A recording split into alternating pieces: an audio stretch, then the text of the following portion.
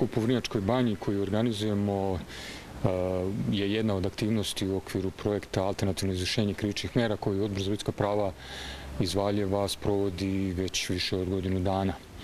Ovo je samo jedan normalan, da tako kažem, sled aktivnosti koji prati prethodne koje su se ticale eh, i nekih razgovora sa predstavnicima sustva, tužilaštva, advokature u pet posmatranih gradova. A Na ovom seminaru okupili smo e, predstavnike sudova osnovnih viših, e, tužilaštava također, advokature i poverenika za izvršenje krivičnih sankcija iz e, tri grada koje smo targetirali, to su Valjevo, Smederevo i Niš. Na naše veliko zadovoljstvo odziv učesnika je jako dobar, učesnici su vrlo zainteresovani za rad, znači tema koja se obrađuje alternativne mere umjesto pritvora, trenutno stanje i perspektive, šta i kako dalje. Imamo eminentne predavače na seminaru, tako da zaista ovaj skup, ova aktivnost prevazilazi neka naše očekivanja.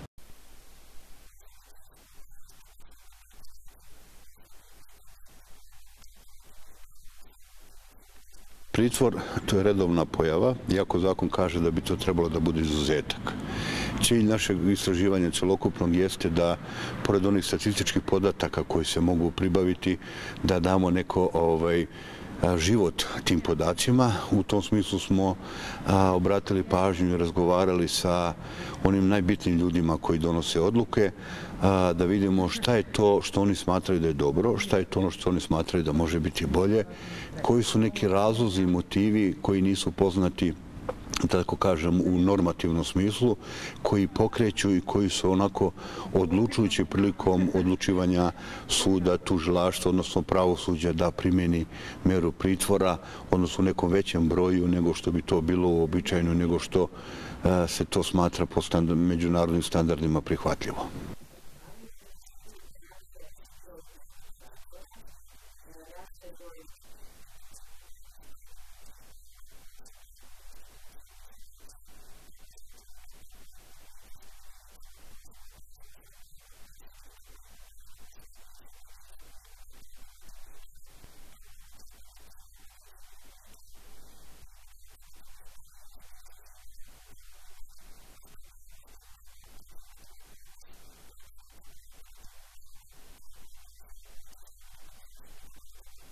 Primjena alternativnih mera umjesto pritvora još nije zaživjela u dovoljnoj meri. Neophodno je unaprediti primjenu tih mera zato što one predstavljaju daleko adekvatnije sredstvo za obezbeđenje e, situacije da okriljeni prisustuje e, postupku, odnosno da e, se ne udalji na taj način da bi onemogućio njegovo dalje vođenje. To je već regulisano zakonom, važećim propisima. E, potrebno je samo da oni koji donose tu odluku, a to je u pitanju tužilaštvo i e, sudovi, da oni pojačanom pažnjom iznalaže razloge, odnosno mogućnosti da se ne odlučuju za tu krajnju meru kao što je pritvor koja predstavlja ograničavanje slobode, već da primjenjuju određene takozvane lakše mere. Znači, dovoljno što to što se zovu alternativne govore da stav javnosti i donosioci odluka u našem društvu nemaju afirmativan e, odnos, odnosno samim tim što su one alternativne, one nisu nešto što predstavlja redovni uobičajeni tok.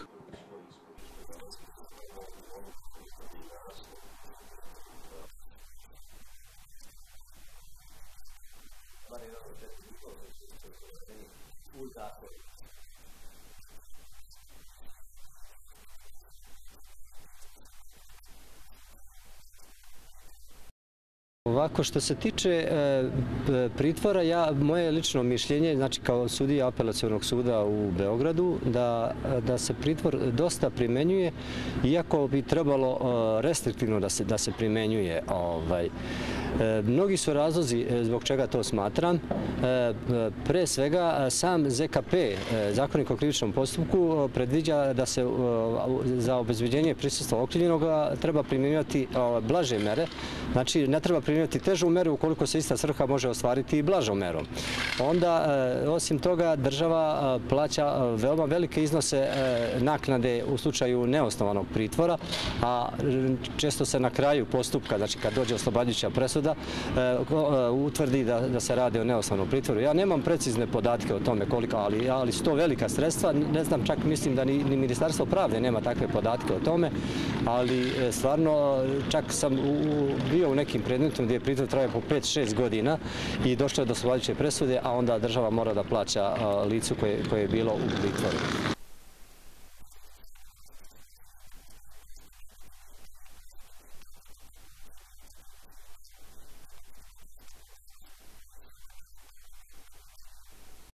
Došli smo do zaključka da postoje određeni problemi koji dovode do toga da se alternativne sankcije nedovoljno primenjuju. Ti problemi se pre svega tiču okolnosti, recimo u vezi sa e, krivičnim delom radu javnom u vezi sa sankcijom radu javnom interesu, da sudije često nisu upućene u to na koji način bi mogli da izreknu alternativnu sankciju, Nedumica postoji u vezi sa tim da li su u obavezi da odrede subjekt u kojem će se ta sankcija izvršiti, što naravno ne stoji, i na koji način bi je izrekli. Postoji problem također u tome što smatraju da je na neki način, što i jeste istina, na neki način prikupljanje podataka o tome da li se stvaraju uslovi za izricanje te sankcije može i prejudicirati odluka. Šta to znači praktično? To znači da uh, se rad u javnom interesu ne može u smislu zakona obaviti bez saglasnosti učinioca, jer bi to značilo prinuti rad koji nije dozvoljen, a ukoliko prikupljate obaveštenje od uh, optuženog da li je prihvata takav rad, na neki način prejudicirate odluku što ne bi bilo dobro.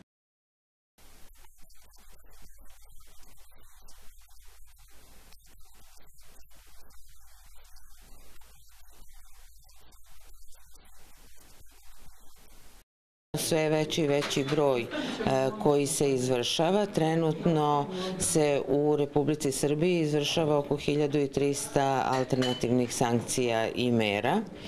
E, Novim zakonom koji je uređena ova oblast e, je dato mnogo veći obim poslova e, poverenicima, povereničkoj službi, tako da pored e, kazni rada u javnom interesu uslovne osude sa zaštitnim nadzorom izvršavamo i obaveze prema odlukama tužilaštva, izvršavamo kazne i dalje takozvano kućnog zatvora, kućnog pritvora, meru zabrane prilaženja,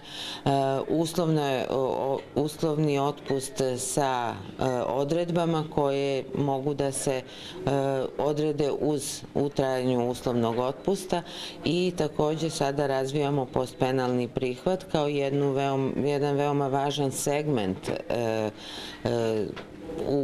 uopšte u oblasti sankcionisanja, jer ukoliko ljudi nemaju nikakav prihvat nakon izlaska sa zatvorske kazne, onda je to e, povećava verovatnoću ponovnog činjenja krivičnog dela, što automatski smanjuje bezbednost e, društva.